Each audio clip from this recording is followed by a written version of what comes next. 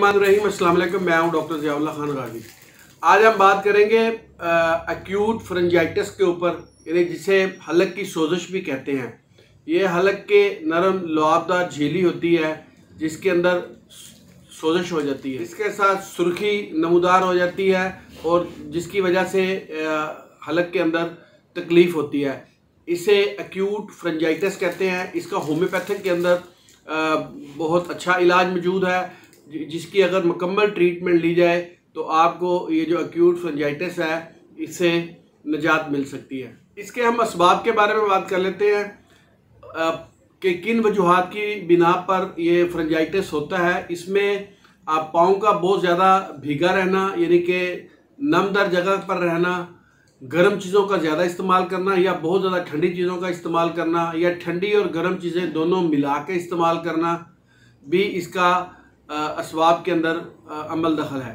या ज़्यादा खराशदार चीज़ें इस्तेमाल करना।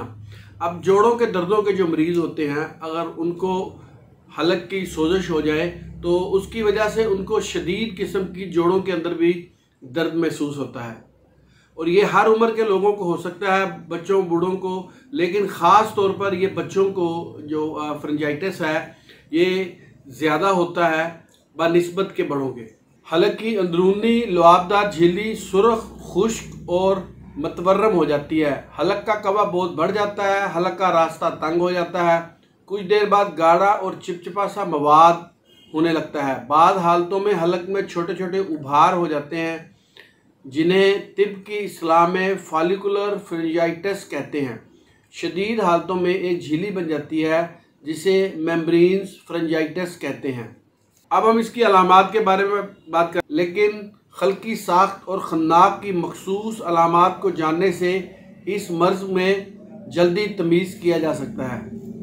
अगर सही तौर पर सही वक्त के अंदर तशखीस कर ली जाए तो ये मर्ज़ बहुत जल्द ठीक हो जाता है और लेकिन अगर इसकी तशखीस ना सही तरीके से की जाए, यानी कि इसको बहुत ज़्यादा क्रॉनिक कंडीशन अख्तियार कर जाए तो बहुत कम केसेस के अंदर ऐसे होता है कि मरीज़ की डेथ हो जाए।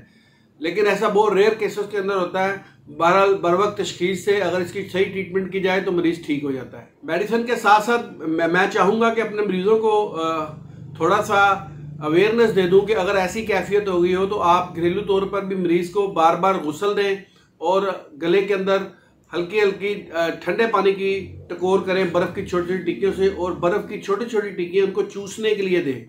तो ये फ्रेंचाइटिस के अंदर बेहद मददगार साबित होती हैं और मरीज़ के जो गले के अंदर उसको तकलीफ़ होती है, उससे फौरी तौर पर उसको इससे रिलीफ मिलता है। अब होम्योपैथिक के अंदर जो सबसे पहले मरीज़ को दवाई दी जाती है, वो है एकोनाइट अगर ऐसी कैफियत हो और फौरी तौर पर मरीज़ आए क्लिनिक पर तो उसको फौरी तौर पे एकोनाइट थर्टी के अंदर दिया जाता है। इसके अंदर मरीज़ को शदीद बेचैनी होती है, शदीद बुखार होता है और जिसम में दर्द होती है और खौफ महसूस हो होता है। और गले के अंदर दर्द होता है। अगर ऐसी अलामत हों तो आप एकोनाइट थर्टी को इस्तेमाल करें। सुबह दोपहर शाम इसके आठ से दस के तरह एक घूंट पानी में। तो दो तीन दफ़ा देने से ये मरीज़ की जो इन अलामत के अंदर वाजह तौर पर कमी आना शुरू हो जाती है। अगर मरीज़ की अलामत में उसको गले के अंदर पिलपिली सोजश और सुरख हो और प्यास कम हो और मरीज़ को आ, ये मसला हो गया हो गले की सोजश का कवा यानी उसका सूज गया हो तो एपस मिलीफिका को थर्टी के अंदर इस्तेमाल करवाया जाता है। एपस मिलीफिका के जो मरीज़ होते हैं, इनको सर्दी से आराम आता है और गर्म टकोर से, गर्म चीज़ों से, गर्म कमरे से तकलीफ़ के अंदर शदीद इजाफा हो जाता है। ये एपस की एक बेहतरीन अलामत है। अगर ऐसे मरीज़ हों तो वो एपस को थर्टी के अंदर इस्तेमाल करें। उसी तरीके से सुबह दोपहर शाम तो ये, इनको फौरी तौर पे इससे रिलीफ हो जाएगा। नेक्स्ट इस मेडिसिन के बारे में हम बात करेंगे, ये है आरम ट्राइफिलम। इसके अंदर मरीज़ के मुँह के दोनों कोने जो है, फटना शुरू हो जाते हैं और मुँह से खून भी आना शुरू हो जाता है। ये क्रॉनिक कंडीशन अख्तियार कर लेता है और मरीज़ का खाना पीना बंद हो जाता है। अगर ऐसी अलामत हो तो आप आरम ट्राइफिलम को थर्टी के अंदर दें ये इन अलामत की शिद्दत के अंदर जो आई हुई तकलीफ़ है, उसको बड़ी हद तक कम करना शुरू कर देती है। गले पड़ने के अंदर होम्योपैथिक की बहुत सी अद्वियात हैं जो मुख्तलिफ़ अलामतों के साथ इसी तरीके से इस्तेमाल की जाती हैं। अब एक आखिरी दवाई जो मैं आपको बता देता हूँ, और जो इस किस्म के मरीज़ होते हैं, इनको हल्की हल्की खांसी आती है और गले में तकलीफ़ होती है। फाइटोलेका को हम पानी में डाल के गरारे भी करवाते हैं मरीज़ों को।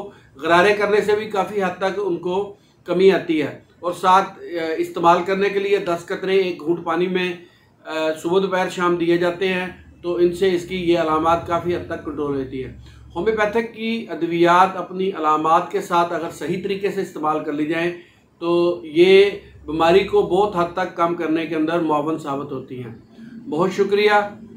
अल्लाह हाफिज़।